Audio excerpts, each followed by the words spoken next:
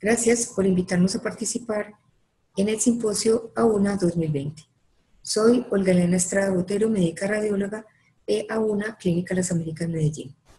Formo parte de un grupo de investigación interdisciplinario constituido por un ingeniero de diseño de la Universidad Politécnica de Valencia, Marco de Rossi Estrada,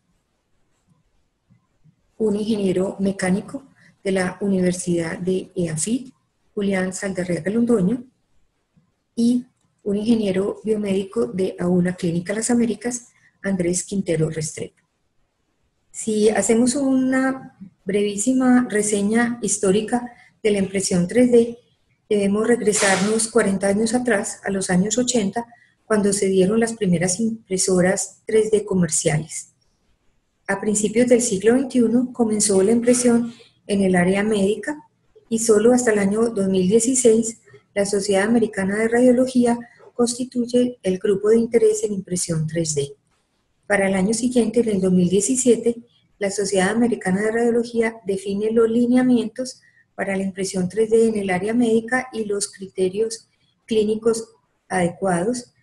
Esto es súper importante porque es el interlocutor de la FDA, el órgano rector que autoriza el comercio de impresoras 3D y software para el uso médico. En el año eh, presente tenemos disponibles en el mercado impresoras de alto costo y bajo costo llamadas impresoras eh, de escritorio. Tenemos software eh, avalados por la FDA de renta mensual o anual y software de uso abierto o libre llamados open source.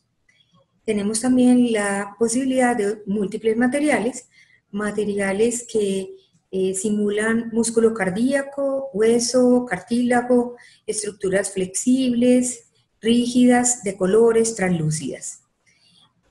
¿Cuál es la historia de la impresión 3D de AUNA Clínica Las Américas Medellín? Está ligada íntimamente con el Laboratorio de Impresión 3D de la Universidad Politécnica de Valencia a cargo de eh, el ingeniero Marco de Rossi.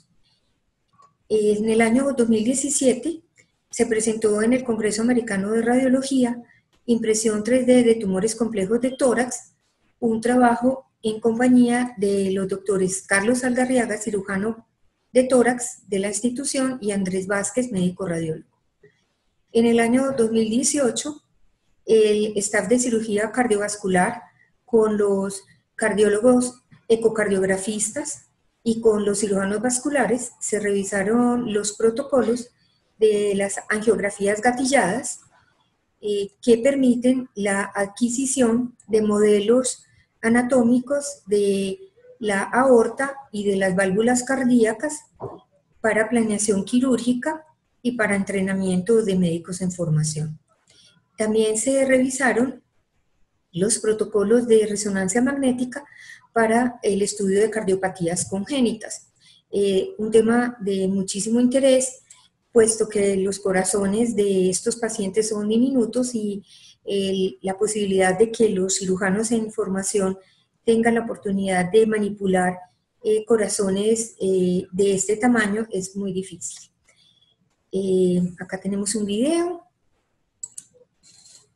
eh, de, un, eh, de un, bueno, eh, en el año 2020 presentamos un trabajo de traumas osteoarticulares complejos, revisando seis meses, de octubre del 2019 a marzo del 2020, las tomografías remitidas para ah, estudios de articulaciones, ya fuera por traumas o por otro tipo de patologías, encontramos 113 pacientes con traumas osteoarticulares complejos y eh, de estos se eligieron 18 pacientes para eh, obtener modelos digitales y, y, de estos 6 pacientes para eh, modelos impresos.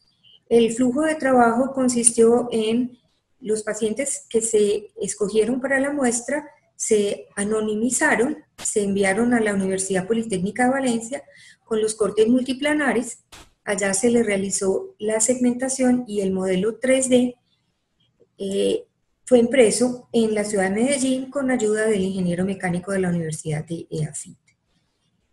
Una vez que se obtuvo la muestra completa, se presentó el trabajo a 11 médicos radiólogos del Departamento de Imágenes Diagnósticas y a 6 ortopedistas de la institución para que evaluaran la calidad de la impresión eh, y eh, respondieron una encuesta anónima que nos permitió llegar a las siguientes conclusiones. Ninguno de ellos había tenido eh, en su mano, en su poder, impresiones 3D personalizadas. lo encontraron de gran utilidad, no como reemplazo de ningún método de diagnóstico, sino por el contrario, eh, lo vieron como una muy buena oportunidad para planeación quirúrgica, para ah, compartir con los pacientes y la familia la patología del el paciente y facilitar así la firma del consentimiento informado. Lo encontraron útil eh, como una herramienta de eh, este, de, librería, de, archivo docente para estudiantes en formación. Y eh, básicamente eh, llegaron a, las mismas conclusiones que llega la literatura mm, médica en este momento. ¿Cuáles son las limitaciones de la impresión 3D? Básicamente, eh, lo principal es la necesidad de contratar personal calificado. Deben ser eh, ingenieros o personal o físicos con un entrenamiento en impresión 3D que requiere en promedio de seis meses a dos años eh, la adquisición de las impresoras cuyos costos en la actualidad pueden oscilar entre 270 dólares, impresiones eh, de un solo material fabricadas en la China y la impresora más sofisticada del mercado, 250 mil euros, Digital Anatomy, que permite la impresión de múltiples materiales con diferentes colores y de gran formato.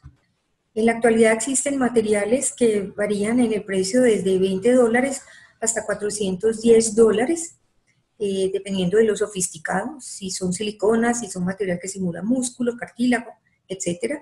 La eh, asignación de un espacio con un requisito importante de iluminación y ventilación, porque estas máquinas hacen ruido, y, el eh, mercadeo o, trámite de las licencias por los entes reguladores. En Estados Unidos, la FDA, en Colombia, el INVIMA. Y con relación al tiempo, pues la segmentación es un proceso que eh, puede demorar ah, para eh, una persona capacitada entre una hora a cuatro horas, dependiendo de la complejidad del órgano a, imprimir y eh, el tiempo que requieren las impresiones eh, varían entre horas, dos, tres horas, hasta 23 horas, dependiendo de la rapidez y de la calidad de la impresora que se utiliza.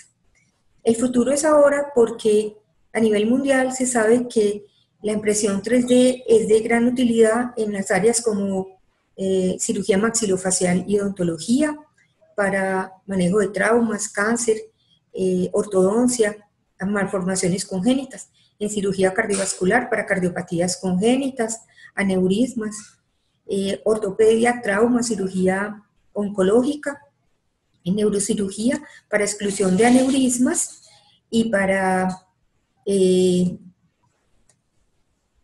planeación de quirúrgica con, acompañados de los grupos quirúrgicos y de eh, personal en entrenamiento. En radioterapia para la utilización de máscaras de radioterapia externa y eh, diseño de dispositivos para braquiterapia de cervix o útero. Eh, definitivamente es una herramienta para la educación, para los estudiantes en formación de las diferentes áreas eh, y eh, creemos que al aunar esfuerzos entre las universidades, las instituciones privadas y el gobierno, durante esta pandemia hemos demostrado que quienes salen beneficiados son nuestros pacientes. Muchísimas gracias.